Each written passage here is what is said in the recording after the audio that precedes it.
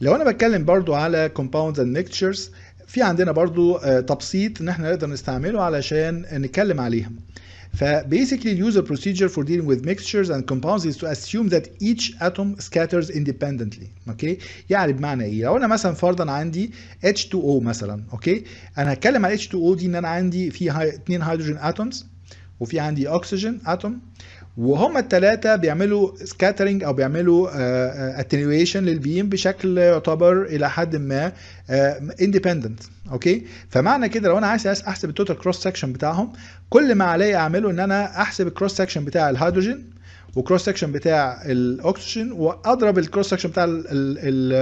الهيدروجين ده في 2 زائد 1 times الايه ال cross section بتاع الاكسجين عشان أحسب الايه cross section بتاع ال compound كله. دي طريقة مبسطة جدا وطبعا ممكن تسمح لي إن أنا أحسب لأي compound ال cross section بتاعه بيساوي كام as a function of ال elements نفسها اللي موجودة فيه ال cross section بتاعها بيساوي كام. آه نقول الكلام ده بطريقة مختلفة شوية. لما بيكون عندنا target entity أو molecule بيتكون من collection of sub entities أو atoms. بن approximate الحسابات بتاعتنا إن كل ال sub entities دي بت interact independently.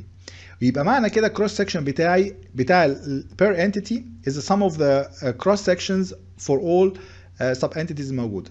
لو خدنا مثال على كده CH4 أوكي uh, total molecular cross section is uh, sigma carbon plus 4 sigma hydrogen.